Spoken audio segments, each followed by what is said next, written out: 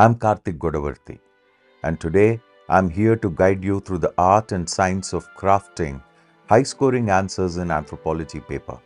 We will explore not just how to write, but how to think, analyze, and express ideas in a way that resonates with the core of anthropological studies. In this video, I'll simplify the process of developing high scoring answers into few manageable steps and elaborate on each one in detail.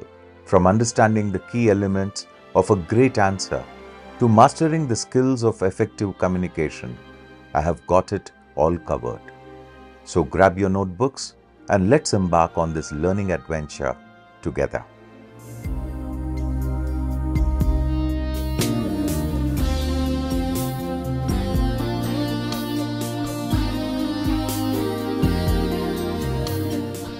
The preparation for this exam is rigorous, involving countless hours of studying, using various resources, attending lectures, and engaging in practice tests. The effort and dedication invested in this journey are ultimately evaluated through the answers written in this exam. A significant hurdle for candidates during their preparation is mastering the art of writing well-structured answers. Through this video, I aim to resolve some of the frequent uncertainties faced by the aspirants. Before proceeding, it's important to understand that your answer should meet three key criteria. 1. Clarity of thought. This is derived from a clear understanding of the concepts and thorough preparation. Your grasp of the subject matter should be evident in your answers. Number 2. Range of application. Your answer should demonstrate a comprehensive approach to the question. This is again a reflection of your preparedness. Given that anthropology is a holistic, comparative, and an historical science, your answer should mirror these characteristics, especially if the questions call for it. And three, power of expression. This involves the ability to communicate in a straightforward, clear, and understandable manner. Even someone new to the topic should find your answers comprehensible. Achieving this simplicity requires not just proficiency in language, but also in-depth knowledge of the subject, quality preparation, and the skill to articulate your thoughts effectively in the language you chose for the exam. Now let's delve into some specific aspects you should consider.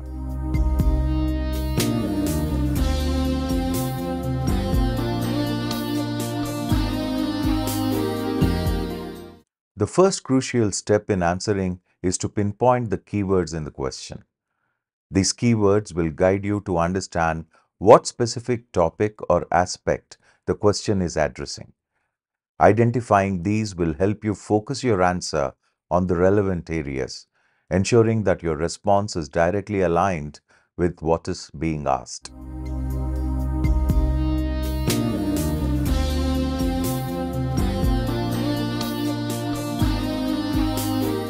Understanding the task requirement. In this step, it's essential to either underline or mentally note the specific task the question requires you to perform. Are you being asked to explain a concept? Is the requirement to compare and contrast different ideas? Perhaps the question demands a critical commentary on a topic. Focusing on these instructions will ensure that your answer aligns precisely with the expectations of the question. Here's a detailed breakdown of various question types and how to approach them. 1. Discuss. Discuss involves exploring multiple viewpoints and providing a balanced explanation. This requires thinking about contrasting ideas and various perspectives, such as advantages versus disadvantages or strengths versus weaknesses. For instance, a question like discuss the genetic and non-genetic factors in the biocultural adaptation of human beings to different environments requires an explanation of all relevant factors categorized under genetic and non-genetic components. Number two, explain. Explain means describing why or how something happens. including potential consequences. The answer should clarify the phenomenon with key details. For example, explain how Buddhism influenced the economic and cultural transformations of Indian society, asks for a straightforward explanation of processes and outcomes.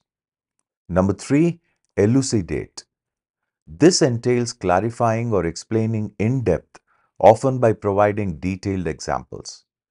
It often involves analyzing cause and effect relationships. For instance, elucidate the skeletal differences between humans and chimpanzees, expects detailed examples, potentially illustrated with diagrams. Number four is examine. Examine means conducting a thorough analysis of a subject. This could involve making comparisons, drawing parallels, and giving examples. For example, examine the impact of feminist movements on the universality of marriage and family structure demands a comprehensive exploration of the topic. Number five, evaluate. This requires discussing strengths versus weaknesses or advantages versus disadvantages. It might also ask for a personal conclusion backed by reason. Take, for instance, evaluate participant observation in producing anthropological knowledge, asks for a discussion on the method's strengths and weaknesses in ethnographic research. Number six, critically evaluate or critically examine. This kind of question asks for an overall review of positives and negatives, supported obviously by facts or examples. This involves in-depth examination and balanced opinion. An example for this type of a question is critically examine Darwin's theory in understanding evolution. And number seven, critically comment. Now, this involves forming a judgment after weighing the pros and cons. This might include analyzing statements from anthropologists or policies. Take, for instance, critically comment on NGO's role in the development process in tribal heartlands is a question in this particular context. Number eight, justify. This is rarely asked and it requires providing arguments to support a position or opinion. For instance, justify Pitirim Sorokin's statement on egalitarian society demands using knowledge on social stratification to support the scholar's view. Pitirim Sorokin has stated that an egalitarian society with the true equality of men is a myth that has never been realized in the history of mankind. This question is expecting you to justify this statement of Sorokin on the universality of social stratification. Number nine, exemplify. This means providing a typical example of a specific category. And number 10, compare and contrast. This question directly involves highlighting similarities and differences. An example is compare and contrast the economic typology of the tribes given by different anthropologists. Now, understanding these specific directives is crucial for structuring answers effectively and addressing the question's core requirement. That's step number two.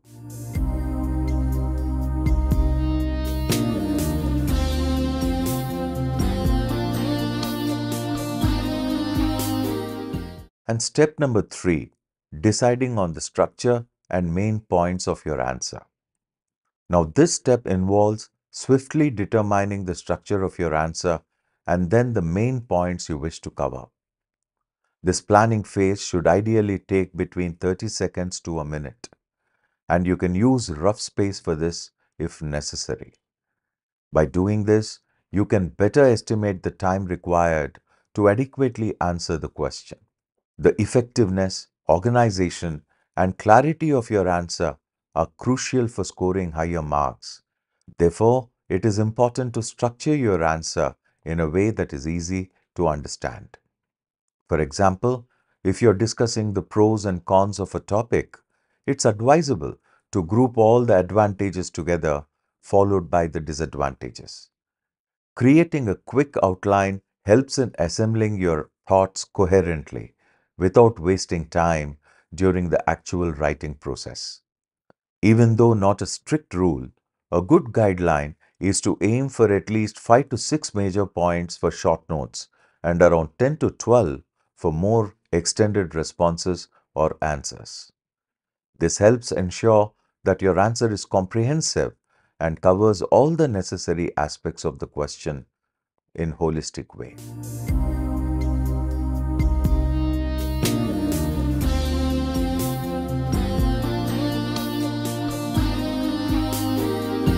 For longer answers, the fourth step is to design your introduction.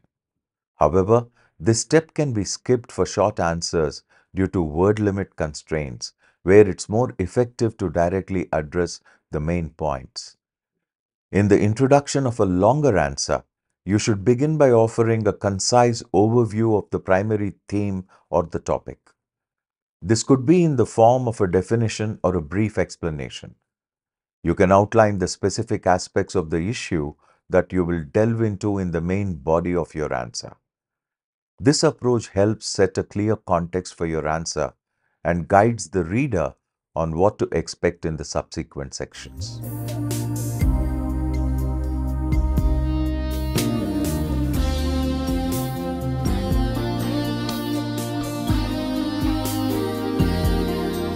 Step 5 utilizing visual aids in your answer. Now, this step involves incorporating visual aids like charts, flowcharts, timelines, tables, etc. to organize and clarify your main content. Visual representations can be particularly effective in making complex information more accessible and understandable at a glance.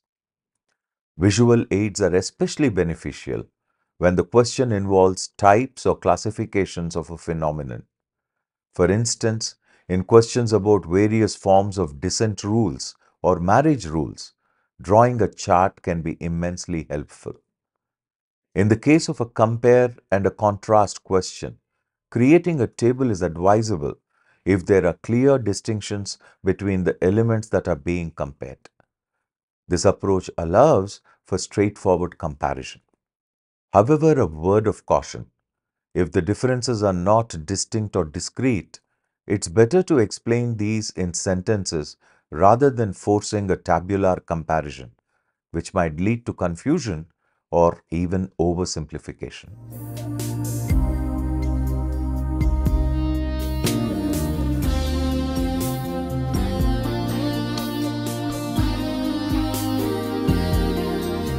Step 6 Writing the main content.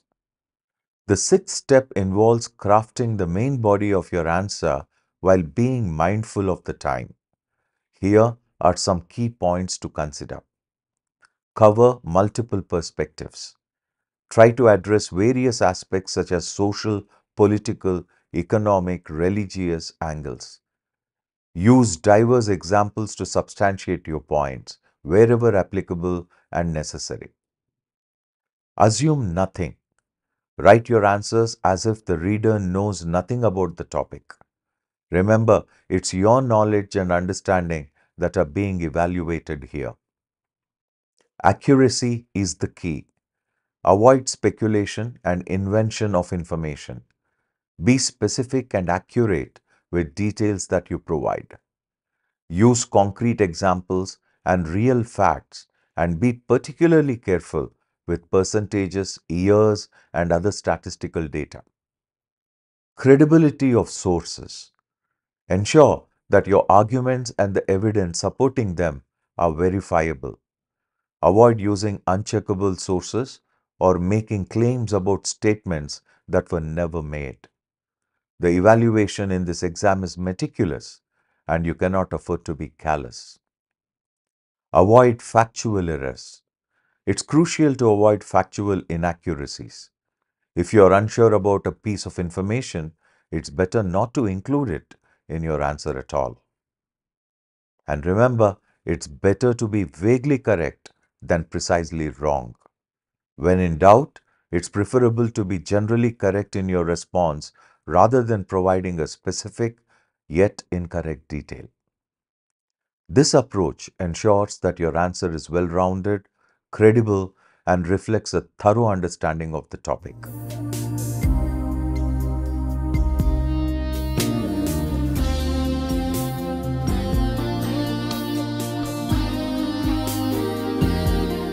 Step 7 Incorporating examples and case studies. While writing the main content, always remember to include relevant examples or cite case studies. These real world references enhance the credibility and the depth of your answer, illustrating how theoretical concepts apply in practical scenarios.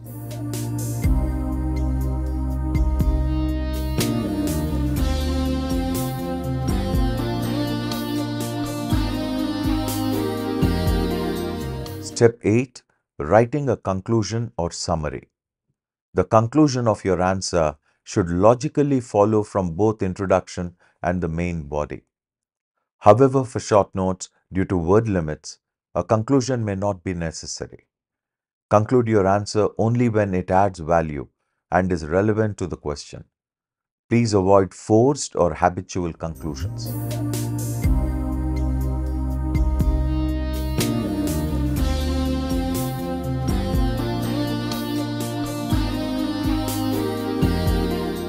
Step number 9 Reviewing your answer. If time permits, quickly review your answer to check for any apparent errors, grammatical mistakes, or deviations from the question's focus. This step ensures that your response aligns with what was asked and is free from any obvious errors.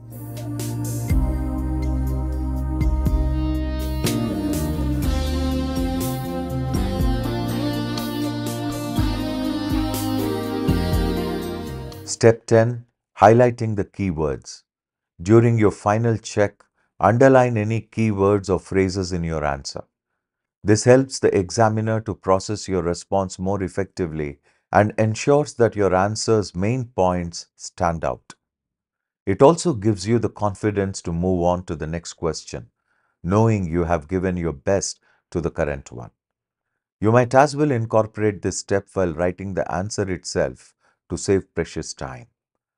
The keywords that you may underline include the names of the scientists or anthropologists you must have quoted, definitions, names of any ethnographies, and also the names of the tribal communities or cultures, especially in paper 2.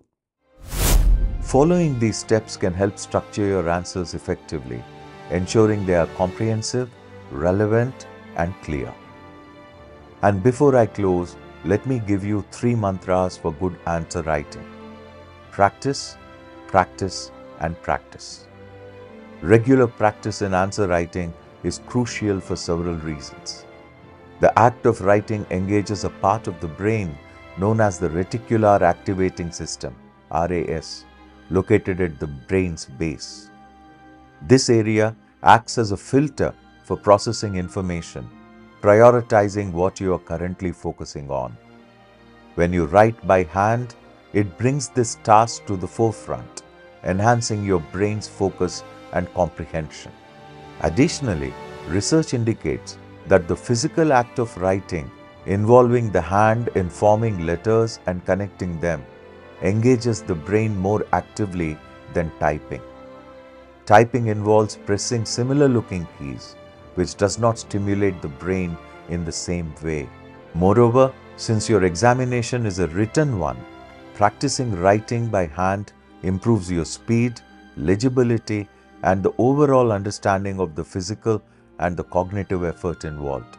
Starting with open book practice can be beneficial. Compile all relevant topics from various sources and present them as an answer. This approach allows you to view the concept more elaborately and comprehensively, enhancing your conceptual understanding. It also helps you develop the discretion needed to calibrate your content according to the question, whether it's a short note for 10 marks or a longer answer worth 15 or 20 marks.